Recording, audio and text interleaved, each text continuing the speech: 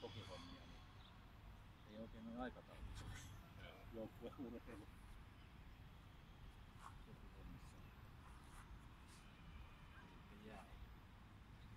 Kyllä mä katselin, kun se